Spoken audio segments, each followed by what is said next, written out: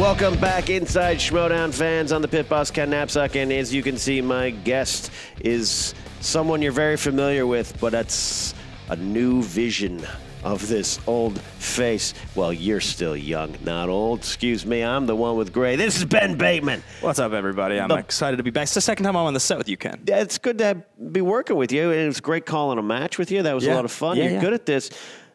The boss Bateman, what I don't, I, I'll, I'm looking at something different here. I'm not seeing in- any red. I don't see the case. What is going on here?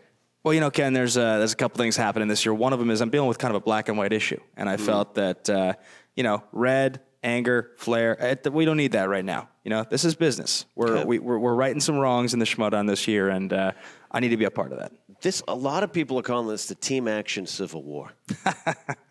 you know, you guys, and I, I, you know, let's let's talk about everything here. Where you guys, you guys have broadcasted together, you've worked together, you're friends. You used to go to Fuddruckers together. You used to all these things together. Next thing you know. You're being put through an IKEA table, and now this is where we're at, and all hell's breaking loose. And then you make this decision uh, to, to fight against the suspension. I still don't understand that one. Just just go back to the beginning, how you guys formed as a team, as, as a friendship, and, and to where we are now. Well, you know, Ken, uh, we've been working together a long time, and we continue to work together. Um, business, you know, the, the people need to get what they want. Those shows that we do, they've been around a long time. We're not gonna we're not gonna cease doing what the fans want us to do. But when it comes to this thing, um, you know, he made a pretty bad decision, and uh, you know, he's he's a smart guy sometimes, and he's dumb as a rock other times. And I think we can both we can both see what's happening here. So it's really unfortunate for the for the fans of Team Action that wanted to remain impartial and they wanted to be fans of us both, but he kind of forced my hand. And look, I don't think anybody would deny I'm a I'm a better player. I'm just better than he is, and so I'm going to get the chance to show that. And uh, that's that's pretty much that. I, and I've always admired your confidence, Ben, Thank you, and I think you. know that. And I admire your style. Um, you're saying, look, you're both good players, and I, I'm going back when you guys both showed up. I knew you more than I knew Andrew, Yep. Drew, Yep. uh, whatever he likes to be called this week, and so I had a lot of hope in you, you guys as a team, and I and I would say early on it seemed as though you know people because I fought. Remember, I fought Nerds Watch. We took you It's guys second on match, yeah. and you both had moments and, and drew surprised me but you confirmed what i thought Yeah. so it's i know you feel you're the better player but drew's maybe got some of the higher profile victories Oh, under yeah, his big belt time. what uh, you, you still confident even then or you're not overlooking him right Yeah, I mean, you know him better than anyone We did a, you know, just before this all started, we did an oral history of team action on our show, The Action Guys, you can find on Collider Podcast Network, and uh, it's a, about an hour long. We take from beginning to end the whole story of how we how we met, how we started working together, we formed the team, and then some of those beats. And I would argue that match against you was the first sort of coming out party for team action. There was the bit with our mothers, people like that a lot. Right. Um, you know, that was all great, and, and we were really into the theatrics and the pageantry of Schmoedown yeah um, last year was a weird one. There was supposed to be it was supposed to be my year in singles, and he was supposed to sort of be set up to have this moment with Dan after the live show. It, that that all kind of looked like the way it was breaking down. We knew how it was going to go, and of course, as most things in the Schmoedown happen, this is not wrestling. The outcomes are not predetermined, so. You, you do actually get a chance to change the story if you want to, and he did exactly that.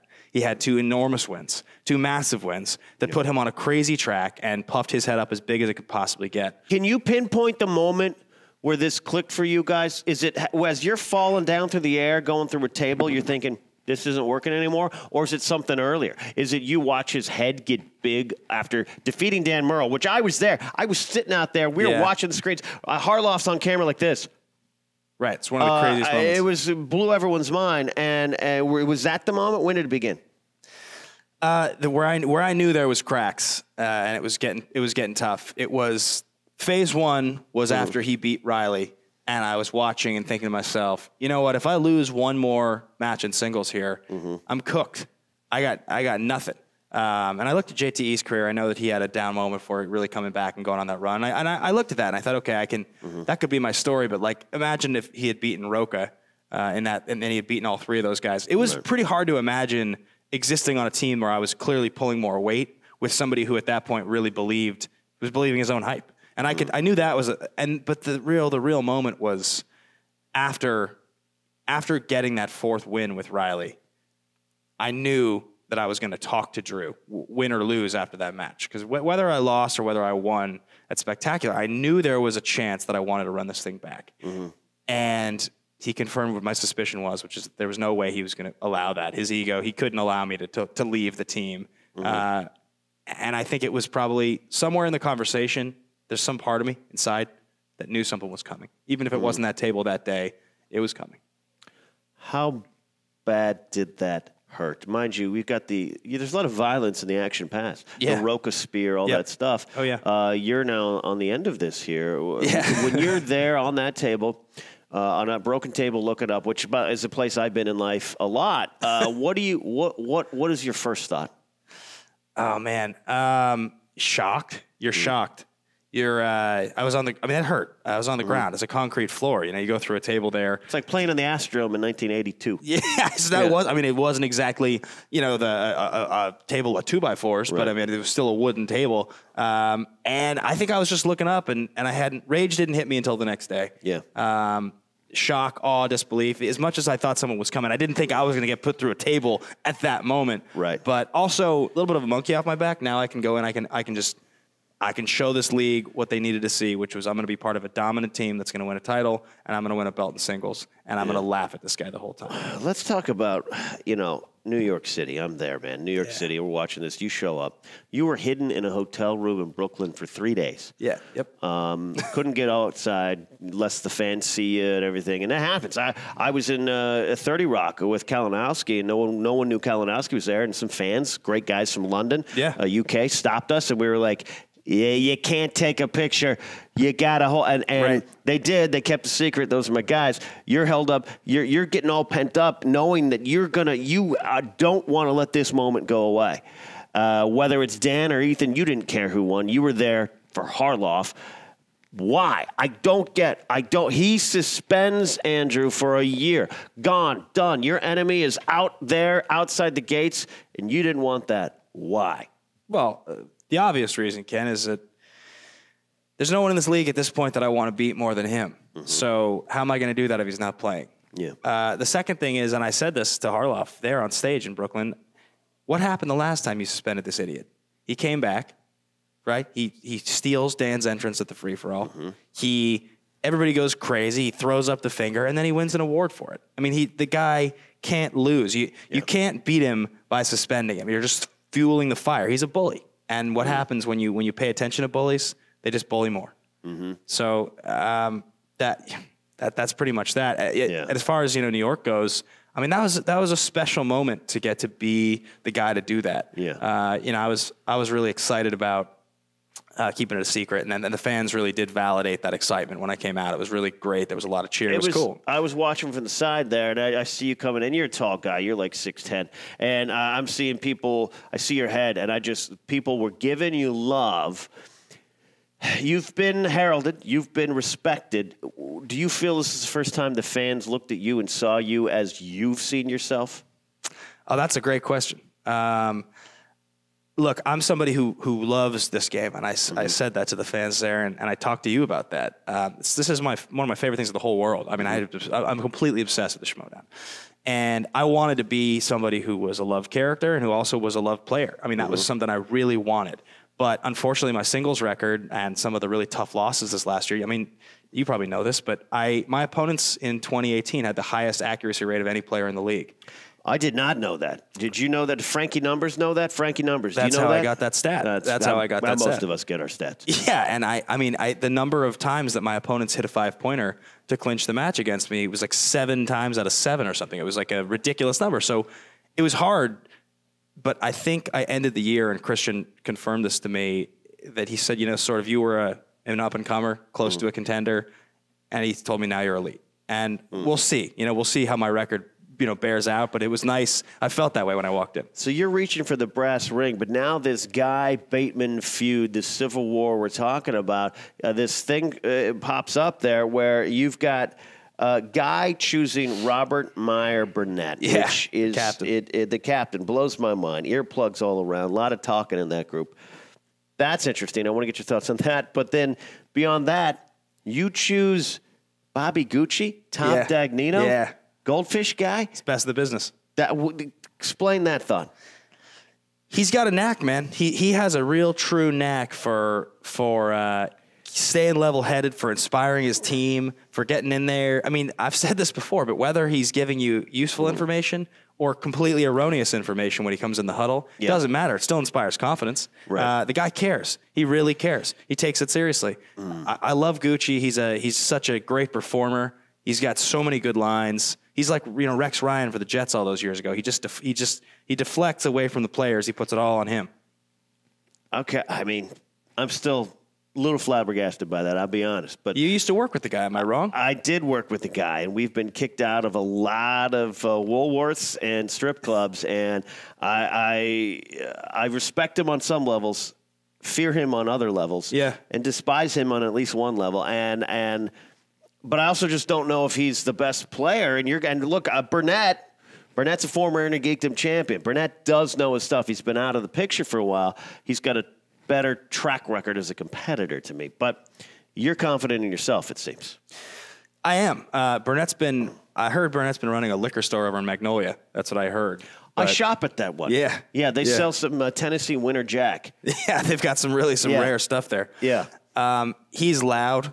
I've always been a fan of the captain. I, I mean, a lot of you guys probably have seen this, but I have, I have uh, moments on camera where he's the, one of the few guys I have respected and shaken hands with. You're probably one of the others, actually. Oh, thank you. Not a lot in this league I have. That's true. Um, and I always like the guy. It's, it's disheartening to see what he's Mm-hmm. done. Though I, I do have to say, the, his flair for the theatrics, man. That recruitment of Drew McWeeny was something else. That was that was special. I'm still shocked about that too. Drew did not seem like that type of guy to go that way, but sometimes frustrations in the league will cause you to do things there. I'm such a fan when he said, "Take my hand, son." Yeah. I got so excited. I, mean, I felt like I was watching a movie. I can't, you know, but I. He loves his stuff. He loves do. his I stuff. really do. Another thing that's going on with you, you've got this thing with Ghai, but let's not forget you were you were in this team. Yeah. Mark Riley. Oh, yeah. Mm-hmm. Who's the boss? Which is a great show. Tony Danza, love you, but this is a great team.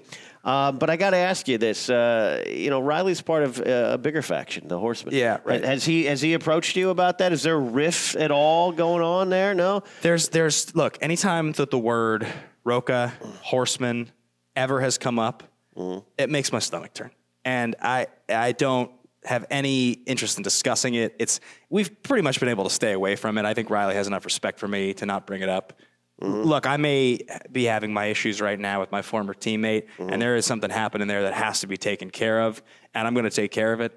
But you're talking about something toxic, something else entirely. I have no interest or respect for those guys. So no comment from you on that. No Horsemen? Yeah, no comment. It's the last time I'm going to say it, Ken. Okay. All right. That's fair. That's fair. We got some big events coming up here. Uh, you out there in the Schmoedown world know what's coming up. So I want to talk about this big one here. Let's talk about Chicago. We have got Who's the Boss playing against the odd couple, Jeff, the In Snyder, Sneider, Mark, the Android, and Draco. Um, uh, they're former clients of Dagnino. Sneider and Riley, uh, you know, uh, there's a lot going on there. Yet Roxy Striar, their manager. Um, can you play this match? Will you be distracted? Will you be nervous? Will the crowd of in Chicago, which is going to be big, 800 strong, uh, throw you off? What, what's your thoughts about this one here?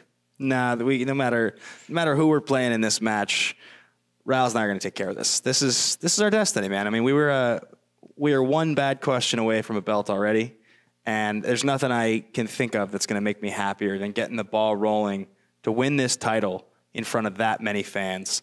Um, I have my embarrassing moment. Look, I'll take responsibility for Giancarlo Stanton. I, I've said it before, and I'll say it again. It's a great player, though. It- he's a great a lot player. of home runs for my Yanks, man. Um, it's not going to happen again. This is this is a match we're going to win. We are going to be dialed in. Riley's feeling good. He had a great win. You know, uh, I'm not worried about the crowd. Not at all. What's next for Ben Bateman? Where do you go from here? You got Ghai. You still want to win titles, right? You don't want to get distracted with Ghai. You got Riley, who's the boss. You're palling around with Dagnino. By the way, do not go to uh, uh, uh, uh, Sunset Strip with him. You will not wake up where you where you woke up the day before. Don't do it. All right. What what's next for Bateman? Well, Ken, I said it last year, um, and unfortunately, some things happened. I got real close. I didn't quite get it, but I'm going to get both belts this year, teams and singles. Okay. Uh, that that's happening. There's no question there. Uh, if I felt that I had the bandwidth to commit to it this year, I'd go for the first triple belter. I'd beat Cushing to the punch. I believe Cushing will be the first triple belter ever. Um, if she doesn't take it this year, then in 2020 it'll be me. Okay. But you can guarantee I'm going to have both belts and you can guarantee I'm going to be looking to defend those belts, and you can guarantee I'm going to be embarrassing that clown of a player, Andrew Ghai, in front of all of you the first chance I get. Strong words, passionate words from Ben Bateman, and the term triple belter is also what I use when I go to Sizzler and have to take my belt down to the third notch. So, um, Ben, I can't thank you enough for coming on in here. Uh, you've uh, you, you've always been a player to watch. You've always been a player to listen to. But I think you might have hit the next level, and this is your year to make that run. Napzok, thank you. Thank you for coming in. You guys out there watching Inside Schmoedown, you know what to do. Go to patreon.com slash Schmoedown if you want to support. Check out the tiers. We got live events. We got live streams. We got a lot of things going. This is an important year. Season six of Schmoedown. That is going to the next level, thanks in large part because of you. Don't forget to go to triviasd.com to get all your schmoes know, uh, at, well, all your movie trivia Schmoedown. I'm an old school guy. Schmoes know is still in my brain. Go to your uh, at triviasd.com to get your movie trivia Schmoedown information. Bibiani and the team putting together some fun stuff for you to read and make this league even that much more of an experience for you out there in the community. For Ben, I'm the pit boss, Ken Napzok. One boss to another. We'll see you next time on Inside Schmoedown.